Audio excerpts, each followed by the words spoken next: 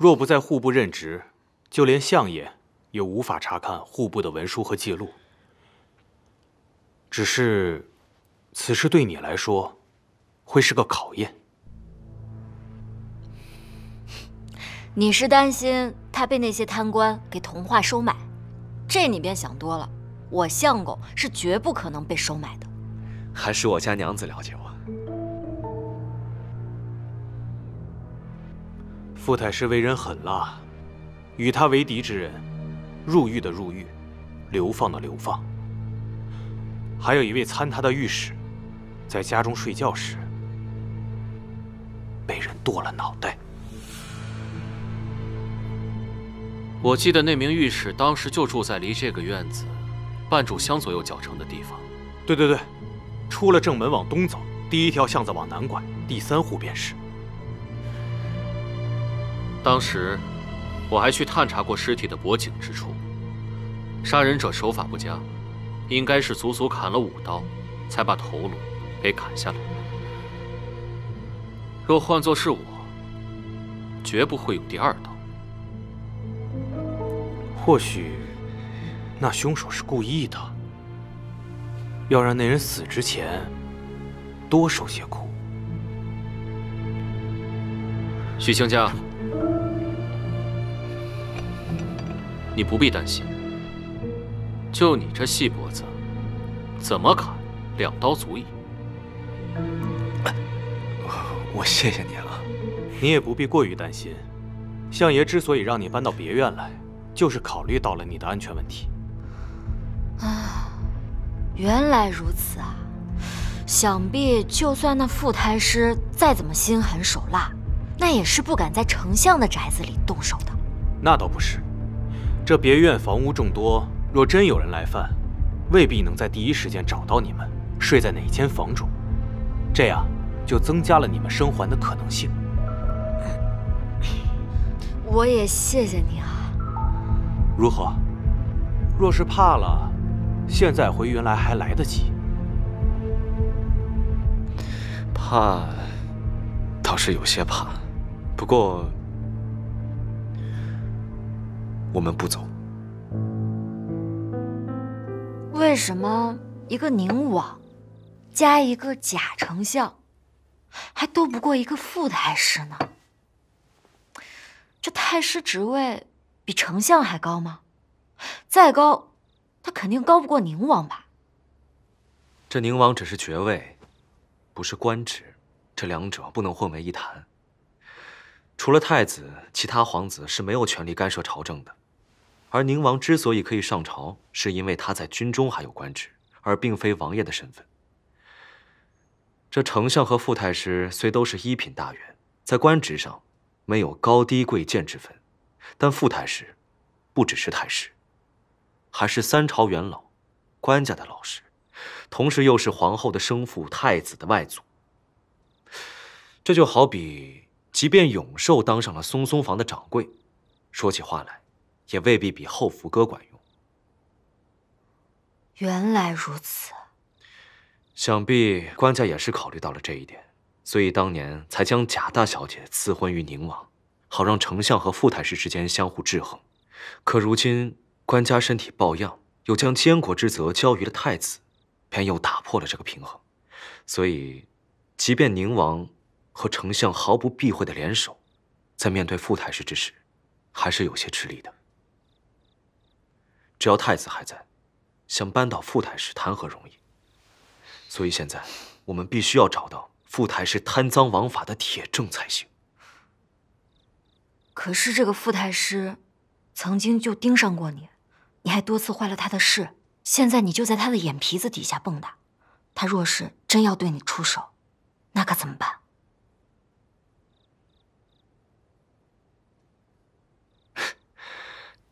这不还有娘子在呢吗？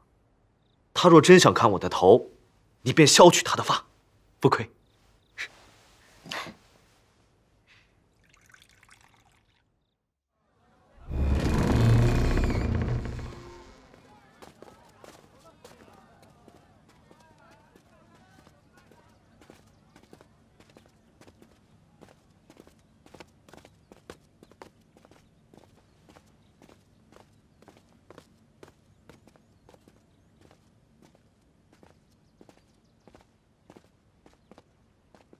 老爷，许卿家到了，快请他进来。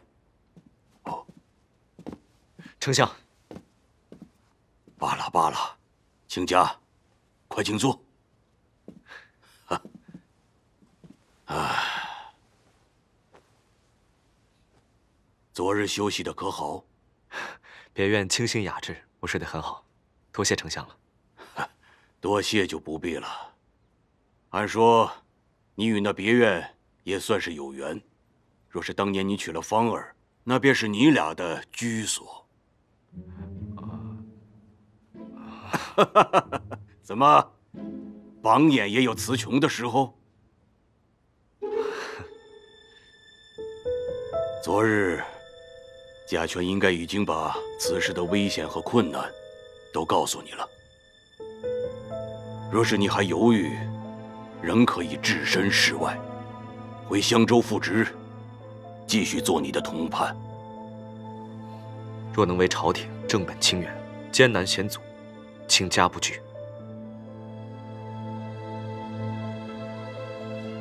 好，不愧是许御史的儿子，我没有看错人。丞相，您认识先父？啊，朝中甚少有人知晓，我与你父亲有同窗之谊，更是至交好友。后来柯岩做了御史，为了避嫌，我俩便来往的少了。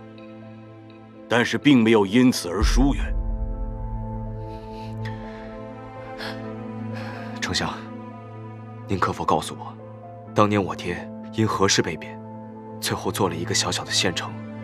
那时我还年幼，他对此事也讳莫如深，至死都不肯告诉我。当时我也曾问过柯岩，他并未曾告诉于我。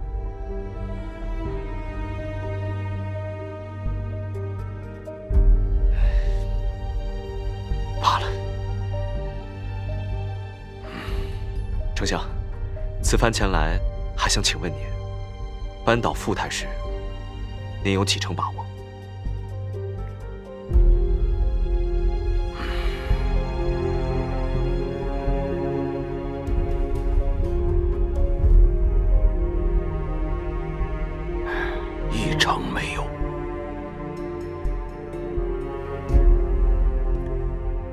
上庸襄州，即便是铁证如山，对于朝廷来说，也只是小事。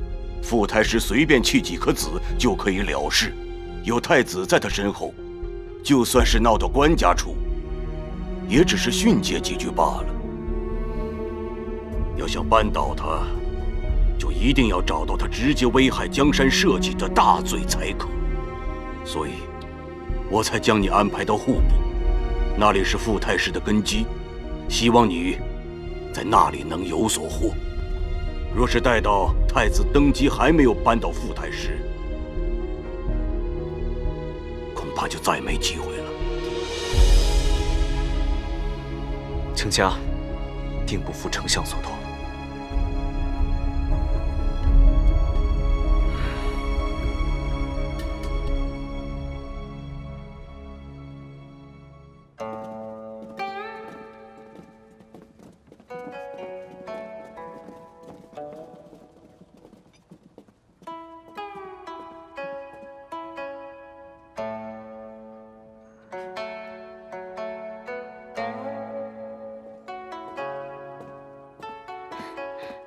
阿娇，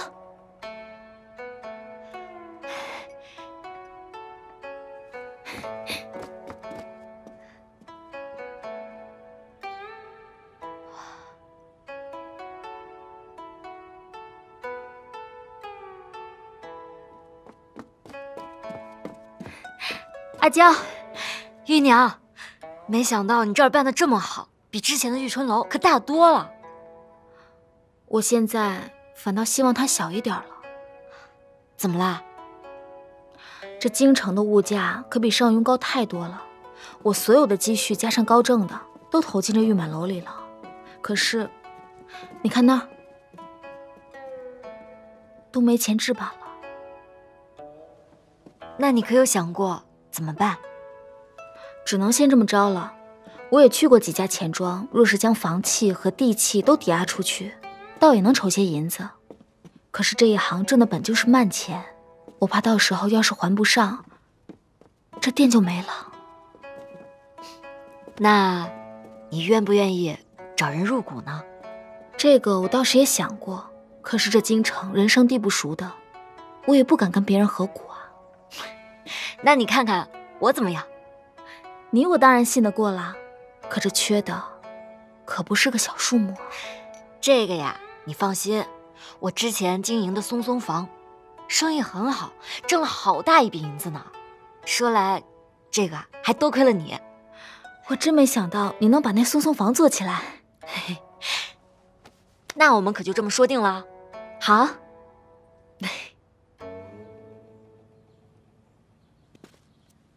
王爷，当年侍奉若琪小姐的人已经带到了。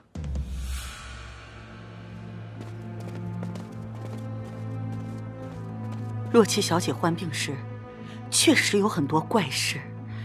小姐左侧的脖子上奇痒难当，但却有股淡淡的香味儿，就是雨后青草的那种味道。大夫用尽了各种办法，都无法止痒，尤其是不能沾水，一沾水，更是奇痒难忍。领赏去吧。谢王爷。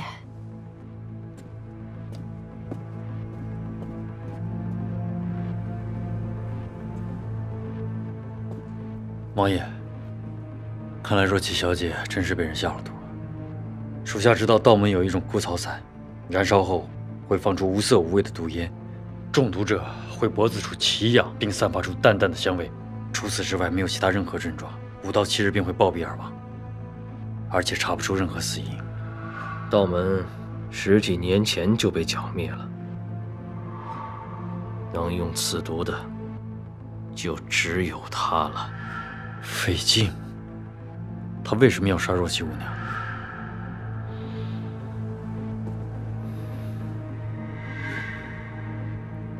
是傅太师。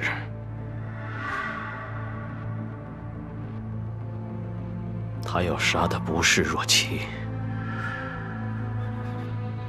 是我。只不过那个时候，我接到了紧急军情，离开了，留下了若琪。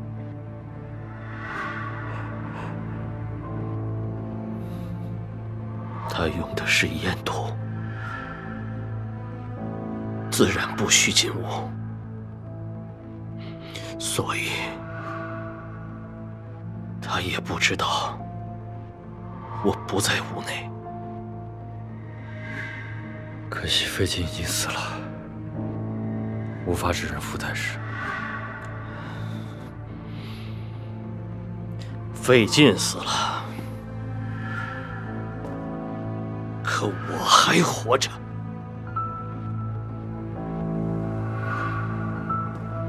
傅太师，我绝不会放过你，哪怕就算与太子为敌，我也要给若琪一个交代。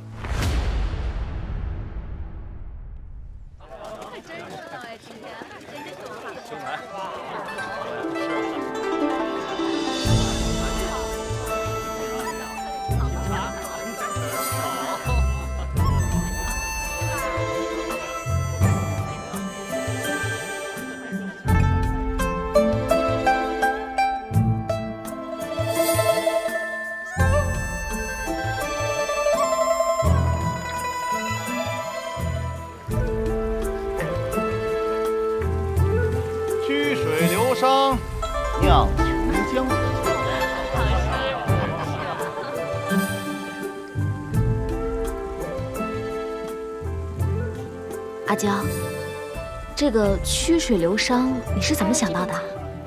还不是听许清家说的。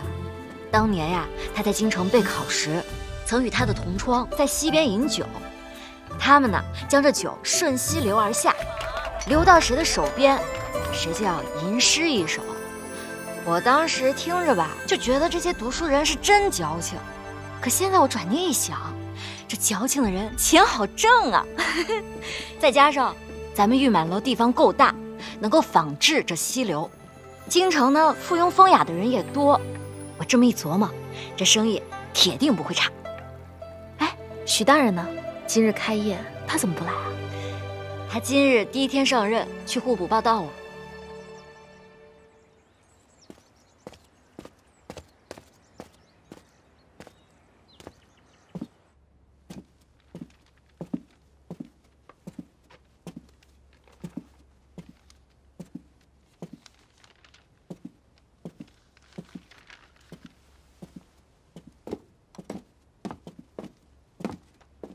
你便是许清家，正是，下官许清家。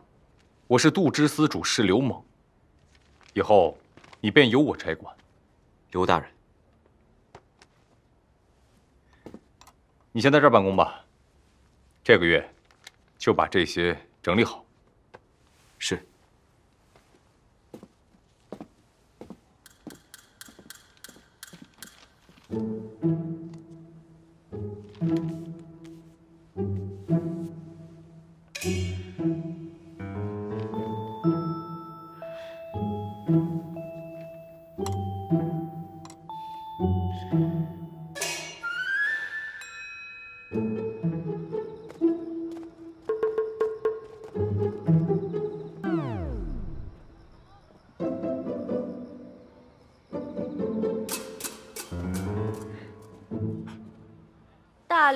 小刘子，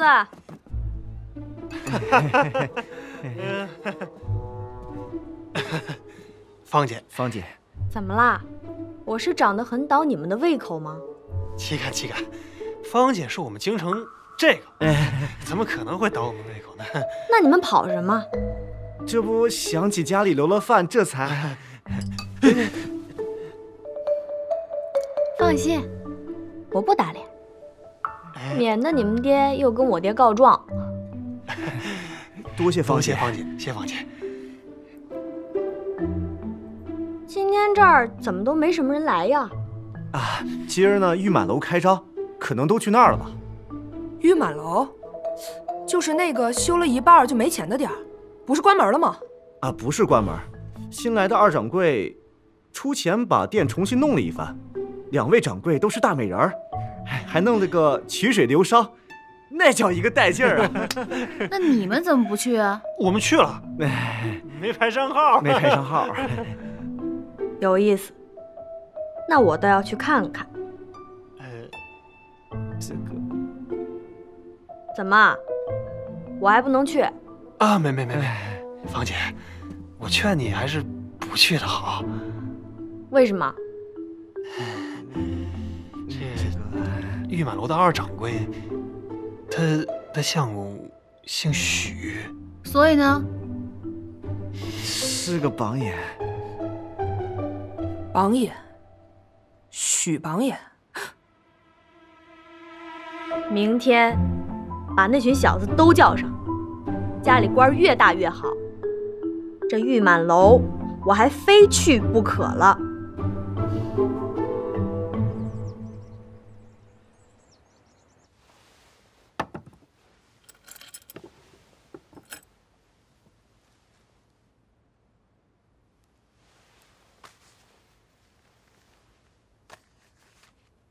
咱们户部乃是掌管户籍财经之机关，像土地赋税、军需粮饷这等国之要事，皆由户部总控管理。许大人虽然只是五品判户部事，但经手之事皆关系着举国民生，日后可是要仔细再仔细。谢冯大人提点，日后还需要您多多照拂。哎，许大人说话可要小心一点。我并未提点你什么，也不可能照拂你什么。这户部可不像地方官府，没那么多人情世故，大家公事公办即可。是下官失言，还请大人见谅。行了，你忙吧，我就不打扰了。大人慢走。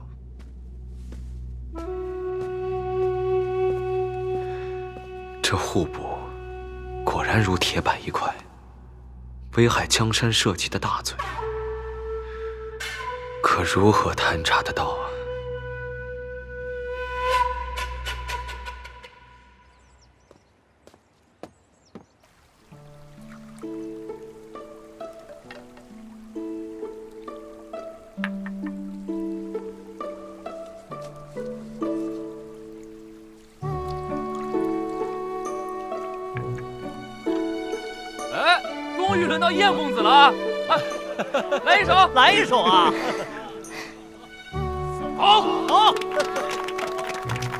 那燕某就为咱玉满楼老板娘赋诗一首，如何呀？玉娘资质繁庸，可万万不可。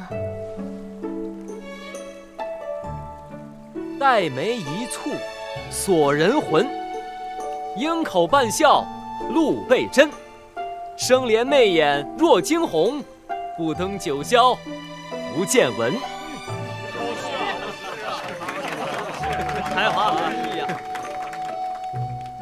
公子谬赞了。世风日下呀！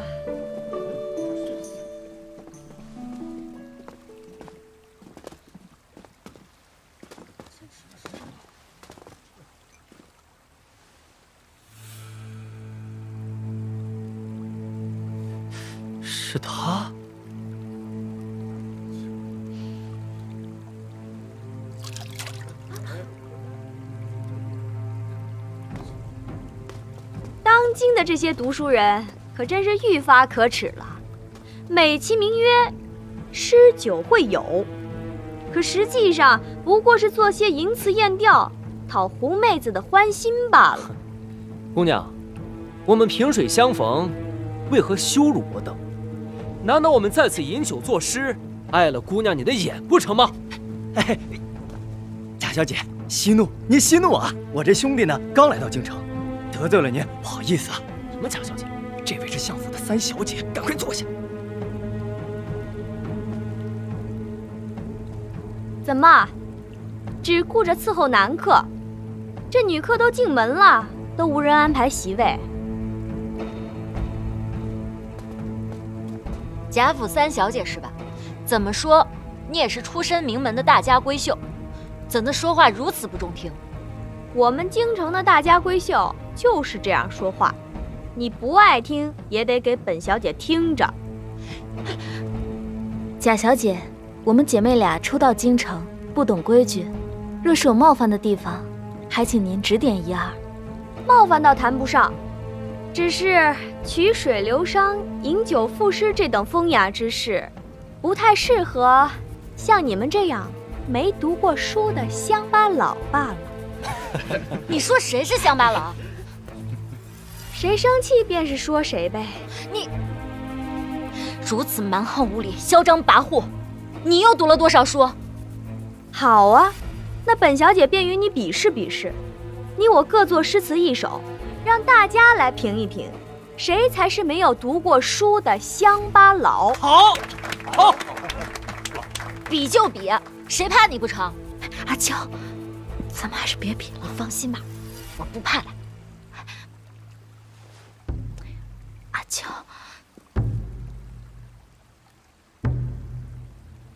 彤云如墨，风如钟，曲臂又烛红，残眉半挑玉枝横，斜入冰潭，似是垂钓中。白絮梨花落满头，杨如白首翁。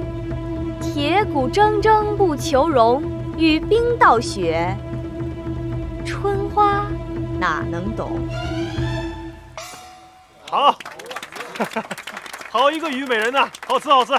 怎么像前日词汇上胡兄弟那首？别说了。好词好词好词好词。该你了。好，那我也做一首咏梅诗，省得你待会儿说我不公平。请。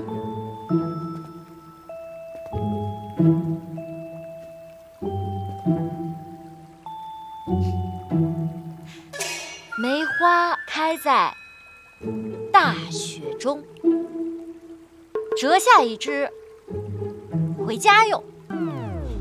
相公直夸真好看，戴在戴在我的秀发中。你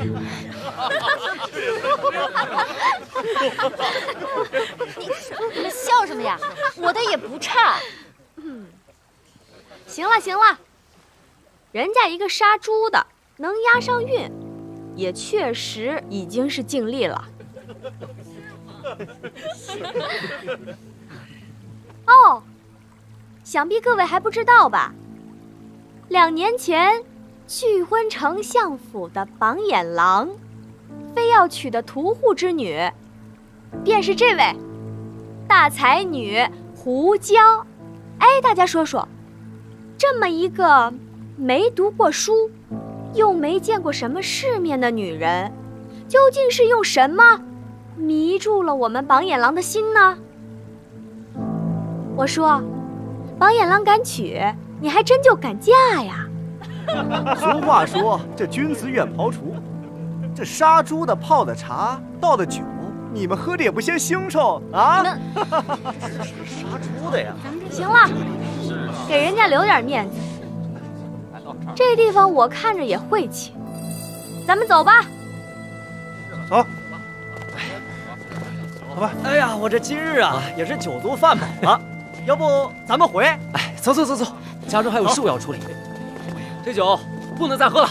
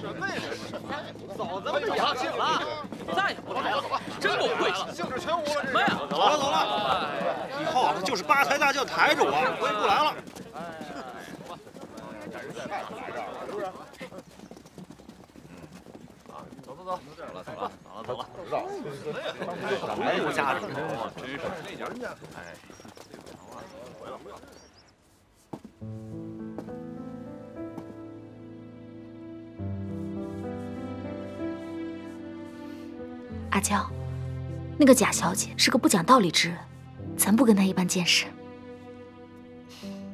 我没事，你放心吧。阿娇，这几日的收支我已经盘算清楚了，你若不放心，就再核对一下。那我先回去了。啊，对，新到的一批茶叶，记得再翻一下。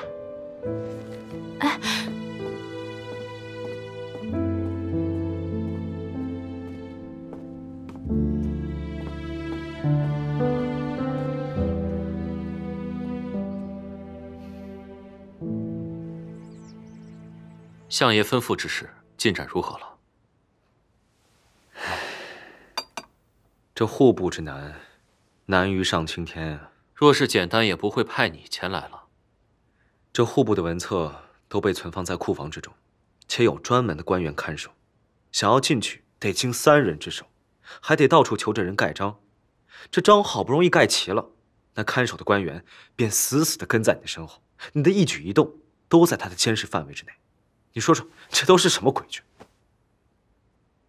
如此严防死守，这其中必定藏着什么秘密。是啊，我也是如此推测的，所以这才绞尽脑汁的想着，这每多进去看几眼，便多一份希望。总之，万事小心。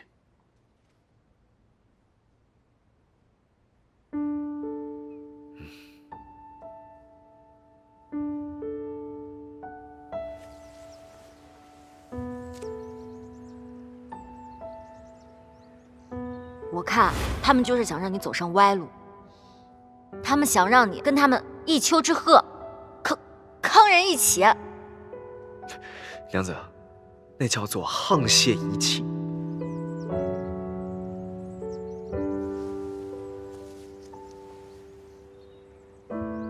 你若待会儿再遇个迟文俊，岂不是要升至二品谢史大夫了？娘子，那个叫御史大夫。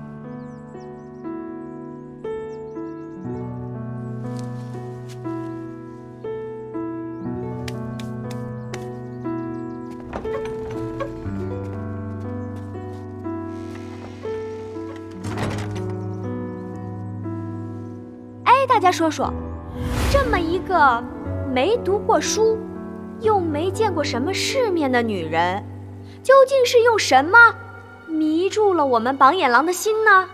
我说，榜眼郎敢娶，你还真就敢嫁呀？阿娇，今天怎么回来这么早呢？啊，我是看这批新进的茶叶质量差强人意，这条索粗细不均匀，嗯，颜色也没有那么碧绿，所以我在想，是不是应该退货？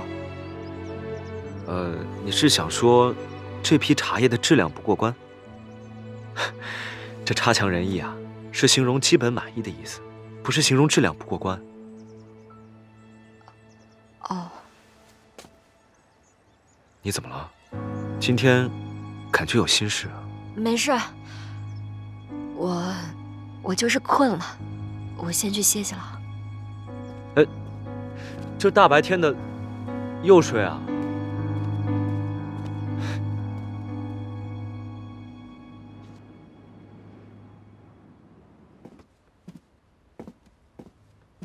嗯，阿娇，这都辰时了，你还不去玉满楼？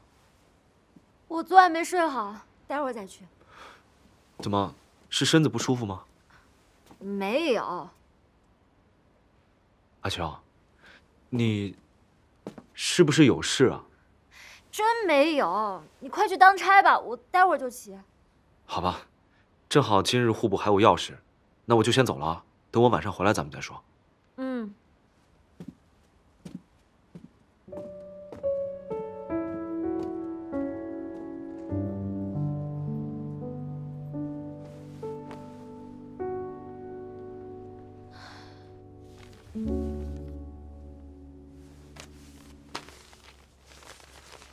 昨日我借熟悉公务为由，又去库房翻阅了这些年来的军饷运输记录。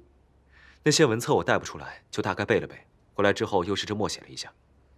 主户部即刻调粮九十万担，至沧州赈灾。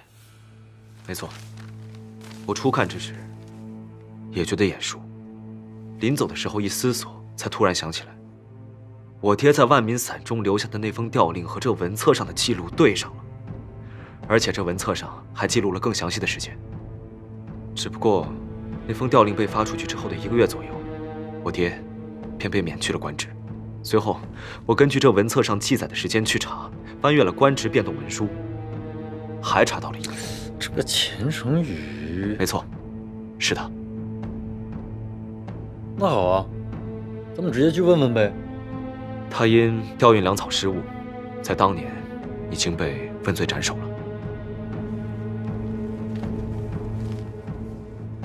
或许这些事情，内部之间都有所勾连。我也如此怀疑。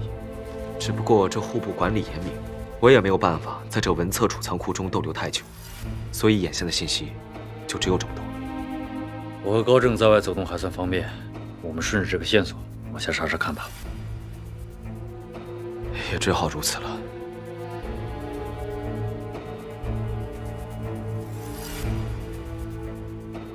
这户部难免有各路眼线，散职之后，御马楼再议。好。掌柜的，昨日预定包厢的客人，今日都将预定取消了。阿娇掌柜来了吗？没有。要不我去别院看看吧。好。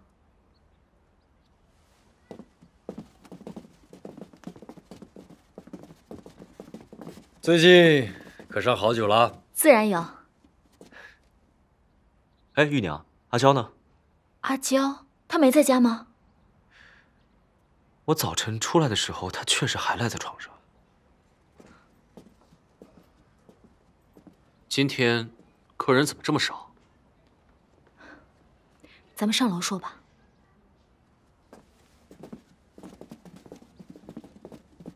贾继芳，可是贾相府的那位三小姐。对，就是她。咱们御满楼的客人都是读书人、公子哥，也都好面子。被她这么一闹，今日客人都不怎么上门了。怪不得阿娇这两天闷闷不乐的，原来是因为这件事情。早就听闻这个三小姐跋扈京中。真仗着他爹是当朝丞相，便无法无天了。其实这件事情是因我而起。当年遭我拒婚之人，正是这位三小姐。哎呀，我都忘了，你们还有这个过节。需要我向相爷禀报一声吗？呃，不必了，这等小事还是不要劳烦他老人家了吧。许大人，阿娇生性好强，昨日在众人面前出了丑，肯定心里不舒服。你快回去看看她吧。我这就回去。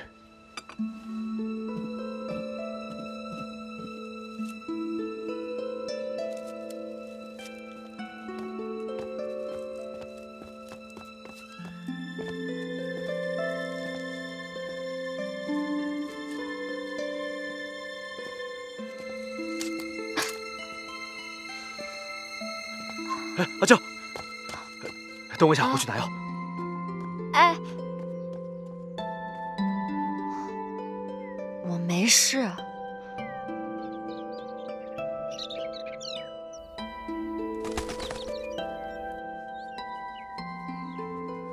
疼吗？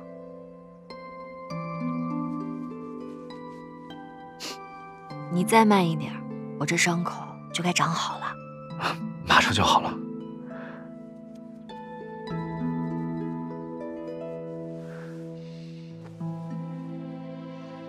阿娇，玉满楼的事情，玉娘已经跟我说了。哦，那个贾府三小姐，是不是惹你不开心了？还好。阿娇，其实有任何的烦闷苦楚，都可以向我倾诉的。我们没有必要在乎别人的眼光，只要我们俩彼此相爱。自己的小日子过好，就够了。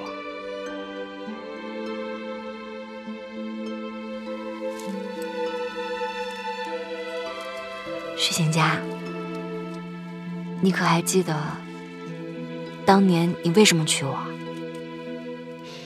若不是这贾府三小姐这么一闹腾，我都快忘了。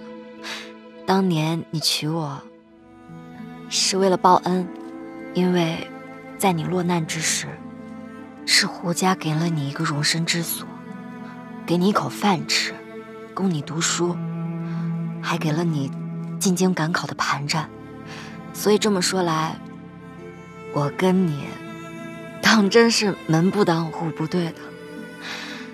兴许当年我就不该嫁给你。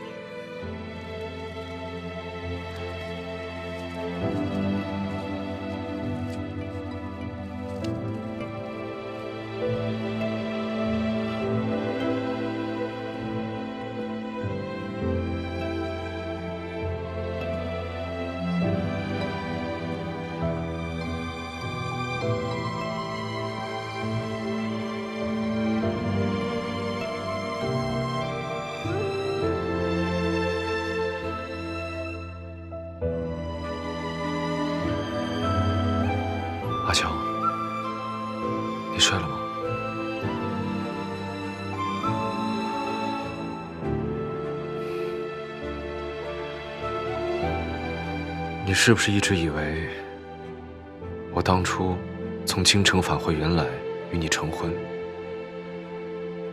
是为了报恩？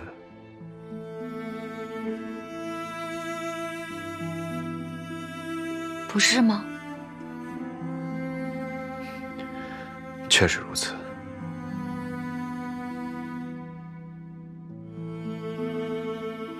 可当初我是怎么想的？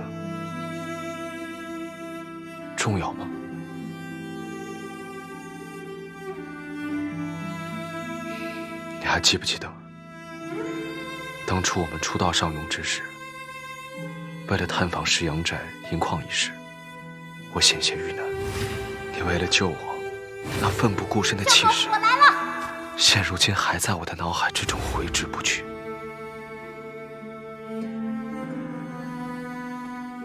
后来，我们兴办县学，遇到了芍药姐弟。那时我才发现，你只是看似鲁莽，但心中却藏有大爱，只是你自己也未曾察觉到罢了。我问你，你是觉得女子比起男子天生来说就是低一等，不能读书吗？当然不是了，读书是为了增长知识、开拓眼界。不论男孩或者是女孩，都需要读书，也有读书的权利。浩台狂香西未风，红灯烁烁绿盘龙。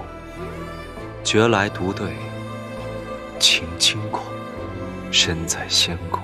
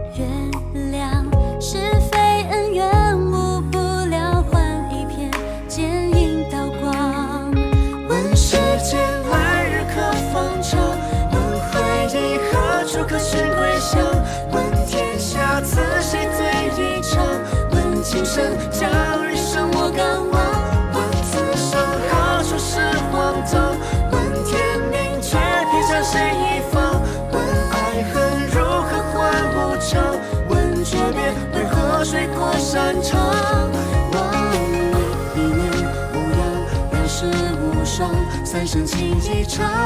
愿你光芒万丈，肆意张空，如月百岁上。